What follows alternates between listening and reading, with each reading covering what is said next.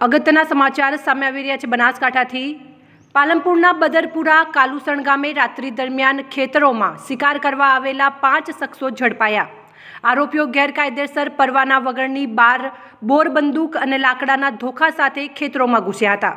સ્થાનિકોને જાણ થતાં સ્થાનિકોએ શંકાસ્પદ પાંચ શખ્સોને ઝડપી ગઢ પોલીસને જાણ કરી હતી. ગઢ પોલીસે ખેડૂત કીર્તિભાઈ પટેલની ફરિયાદને આધારે ગુનો નોંધી પાંચ શખ્સોની અટકાયત કરી વધુ તપાસ હાથ ધરી છે. આરોપીઓ છેલ્લા પંદર વીસ દિવસથી ગઢ પંથકના ગામોમાં શંકાસ્પદ રીતે શિકાર કરવા ફરતા હોવાનું સામે આવ્યું છે.